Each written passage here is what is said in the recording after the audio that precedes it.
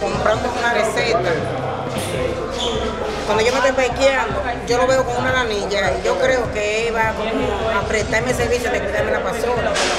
Yo me distraigo un poquito sacando la receta, dividiendo la receta y, y un estudio que tenía que hacer. En eso él viene pasando, yo lo sé, pero yo creo que él me va a prestar servicio de quitarme la pasola. Me llevó la cartera y ahí yo tenía 10 mil pesos, entre 60 dólares y 5 efectivos.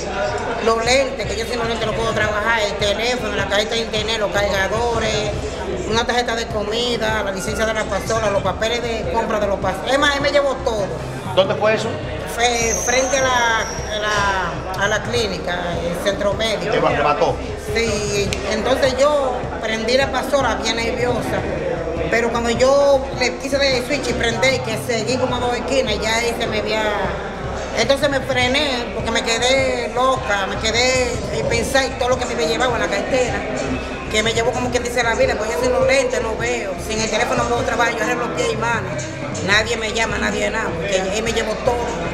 Y el miércoles. ¿Cómo el nombre suyo? Blanca Nieve Pau. ¿Qué tú le pides entonces, Blanca, a las autoridades? Bueno, que me consigan, no, las autoridades han estado trabajando, porque yo he venido aquí siempre y ellos me prestan su servicio bien. Yo estoy agradecida de ellos. ¿Y contra él? Por lo menos, no, que me consigan que sean los documentos, porque yo sé que el dinero no va a estar. Pero que me consigan los documentos, mi teléfono y la cajita, por lo Bueno, ¿de, menos. dónde Me tú, de dónde tú eres?